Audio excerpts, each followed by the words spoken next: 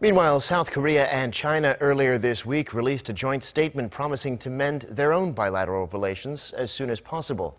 And already a few changes can be seen in terms of cultural exchanges.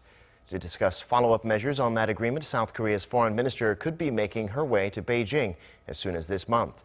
Oh Jung hee reports. After South Korea decided to deploy the THAAD missile defense system in July 2016, China's retaliatory measures were most visible in the culture and entertainment sectors. Concerts and fan meetings were canceled, and Korean celebrities couldn't star in China's TV programs, nor could their video clips be distributed online. But as the two countries promised this week to rebuild their relations as soon as possible, changes are already being seen. On Tuesday, a K-pop group named Mamamoo was spotted arriving in China, and according to industry insiders, they have performed for a TV music program in Sichuan province. Mid and small-sized online video platforms are getting ready to resume importing South Korean dramas.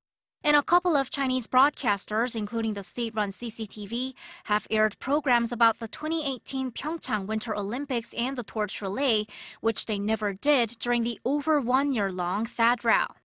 To keep up with this somewhat improved atmosphere, Seoul's foreign minister is expected to visit Beijing this month.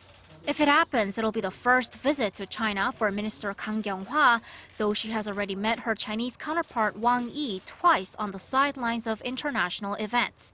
The two top diplomats are expected to discuss follow-up measures on mending bilateral relations, President Moon Jae-in's possible visit to China later this year, and ways to restrain North Korea's provocations and bring stability in the region. The visit could possibly take place in mid or late November after Kang's tour to three Southeast Asian nations from November 8th to 15th. 오정희, 아리랑 뉴스.